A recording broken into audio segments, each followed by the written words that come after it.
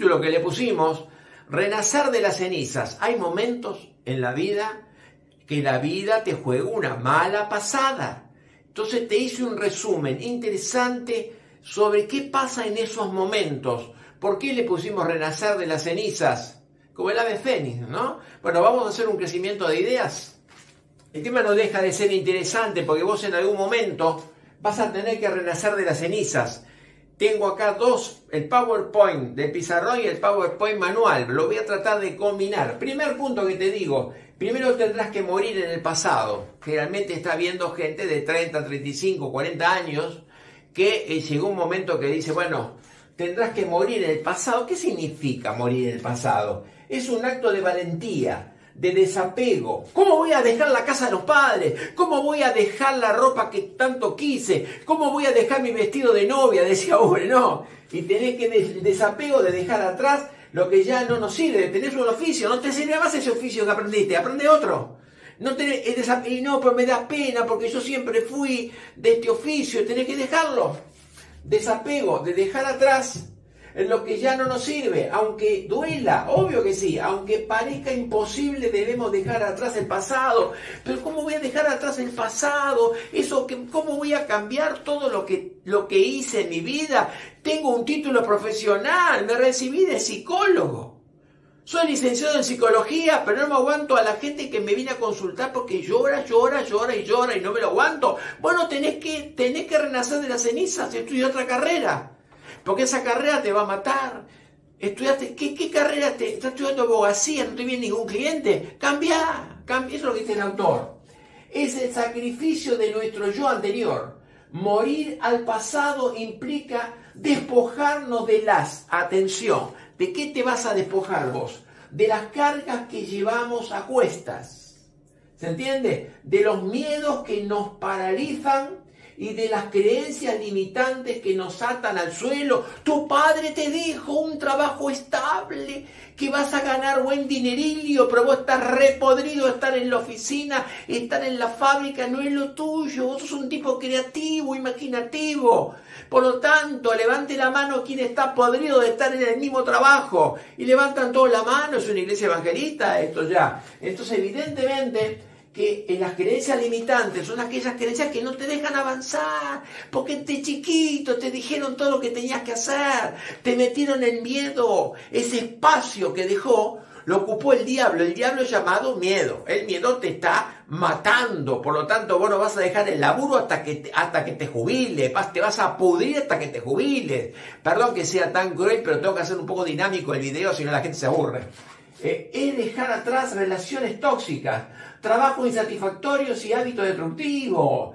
¿Cómo voy a dejar el cigarrillo? ¿Cómo voy a dejar el cigarrillo? Me voy a morir, pero el cigarrillo no lo dejo nunca. Yo tenía un tío que decía, el cigarrillo no lo dejo nunca. Y se murió con el cigarrillo, se murió un tío macanudo, un tipo excepcional, pero no podía dejar el cigarrillo. Venía de una familia con muchos quilombos, muchos problemas, y el cigarrillo, se murió con el cigarrillo, se murió, se murió, se murió.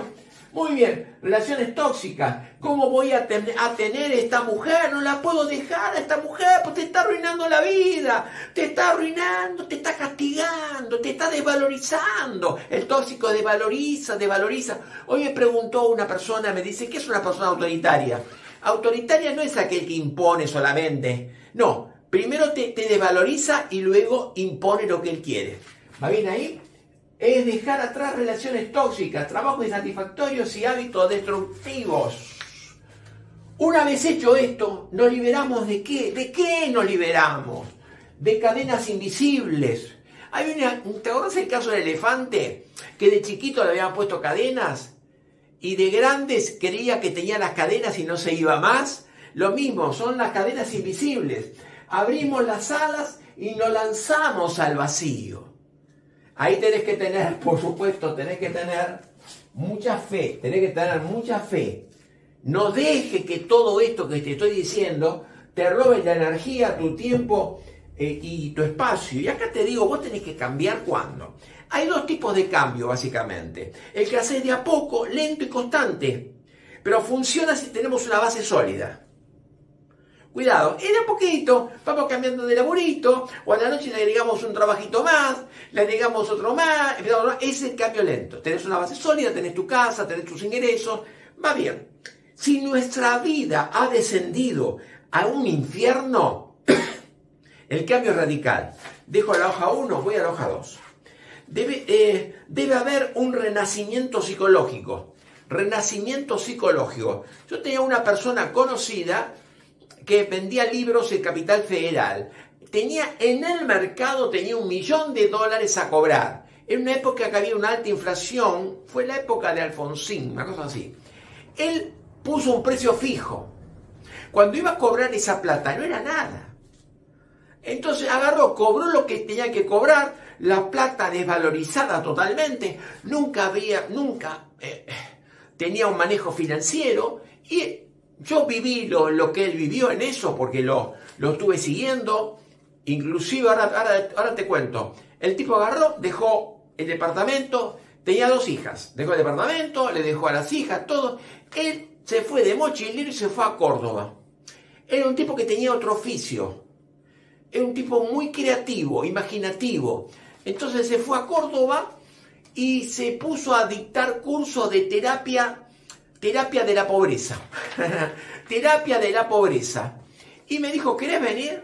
Bueno, yo tengo una semana libre. Voy a la terapia de la pobreza. Buenísimo.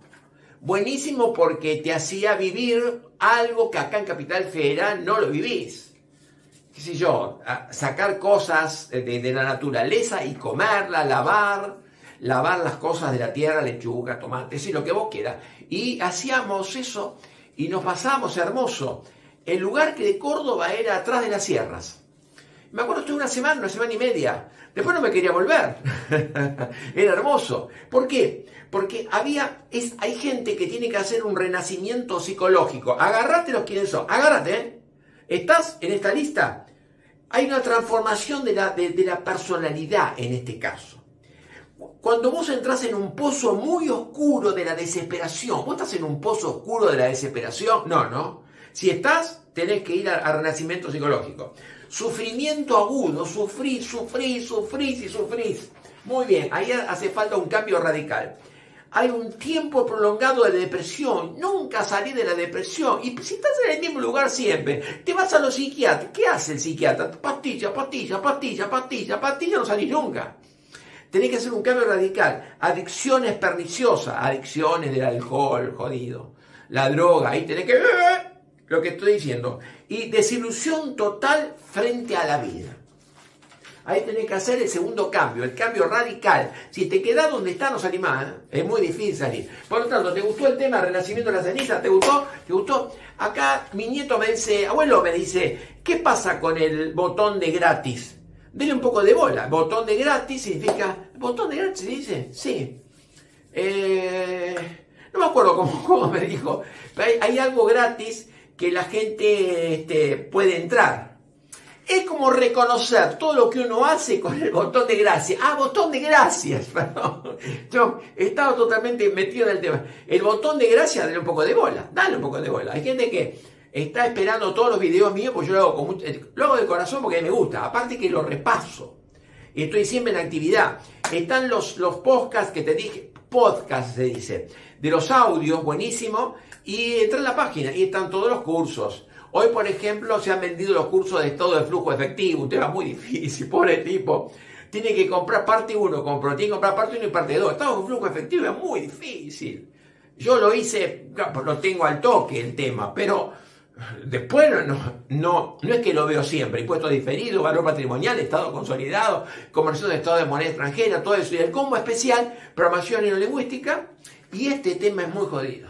Acá tenés que tener programación lingüística. Si querés hablar en público en un futuro, oratoria. ¿Querés poner un canal en YouTube? Oratoria. Y tenés que tener una imagen. Yo ahora me puse. Agarré este buzo, que esto, esta remera, no sé.